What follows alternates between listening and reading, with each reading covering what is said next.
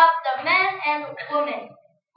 In my experience, when I was in the car, the road was whole mess.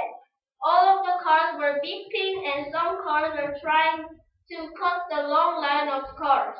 Also, when it was a red light, some taxis zoomed past our car.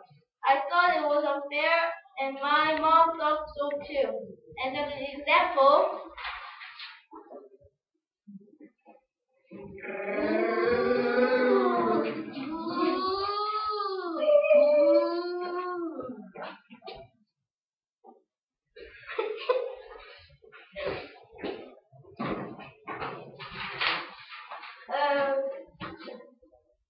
in school, oh, I was on, I was in the line to eat lunch, but some of the boys stood in front of me.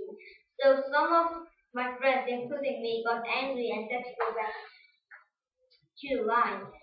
So they went to the back of the line because they got embarrassed. As an example,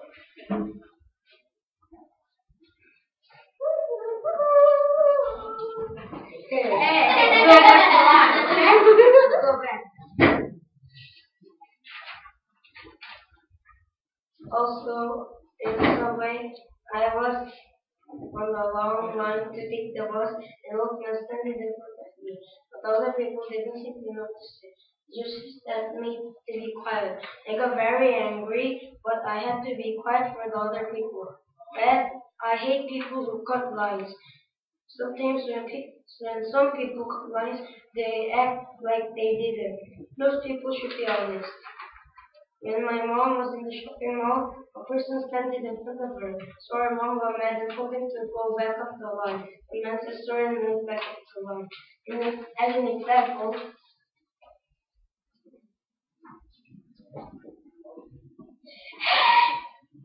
Go to the back of the line. Okay.